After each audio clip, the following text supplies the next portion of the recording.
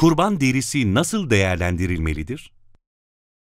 Kurbanın derisi bir fakire veya hayır kurumuna verilmelidir.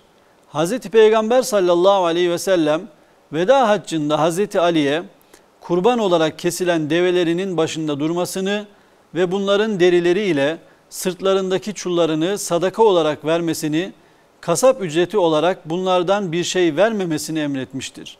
Buna göre kurban derilerinin para karşılığında satılması, kurbanın kesimi veya bakımı için ücret olarak verilmesi caiz değildir. Derinin satılması halinde bedelinin yoksullara verilmesi gerekir. Ancak kurbanın derisi bir yoksula veya hayır kurumuna bağışlanabileceği gibi evde namazlık, kalbur ve benzeri ev eşyası yapılarak kullanılmasında da bir sakınca yoktur.